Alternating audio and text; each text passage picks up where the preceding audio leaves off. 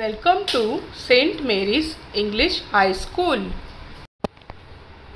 Standard 2 Subject Hindi व्यंजन ग घ अंग बच्चों, हमने हिंदी वर्णमाला में से स्वर अ से आहा पढ़ चुके हैं हमने व्यंजन, क और ख और उनसे बनने वाले शब्द भी सीखे तो आज हम व्यंजन ग। घ और अंग भी सीखेंगे और उनसे बनने वाले शब्द भी सीखेंगे। तो बच्चों, अब हम सीखेंगे व्यंजन घ। घ हम कैसे लिखेंगे?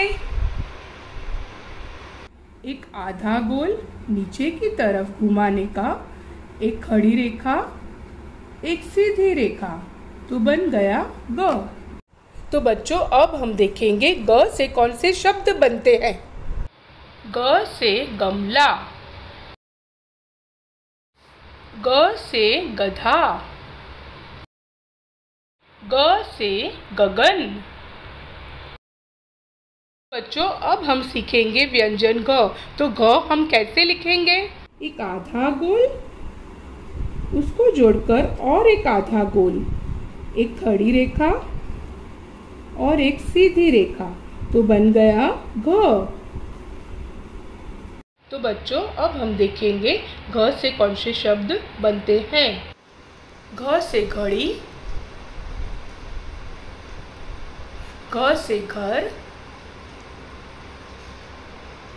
घ से घड़ा। तो बच्चों, अब हम सीखेंगे व्यंजन अंक अंक को कैसे लिखेंगे? एक छोटी खड़ी रेखा, एक आधा गोल, उसको जोड़कर और एक आधा गोल, बाजू में एक बिंदु, ऊपर एक सीधी रेखा तो बन गया अंग। बच्चों, अंग से कोई शब्द नहीं बनते। धन्यवाद बच्चों।